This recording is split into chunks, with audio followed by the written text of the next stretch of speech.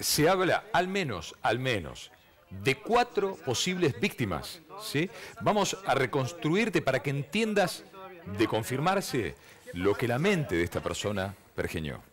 A tratar de buscar una relación entre todas estas personas. Tenemos así en el centro a Walter Binader, el ex prefecto, que empezamos a mostrar la cara más conocida en estas últimas semanas, la de Araceli Ramos, quien el 30 de septiembre se dirigió a Puan 3754 en Caseros a una supuesta entrevista laboral. El viernes pasado hallaron su cadáver. Hay más de 20 llamadas telefónicas que la vinculan directamente con Binader.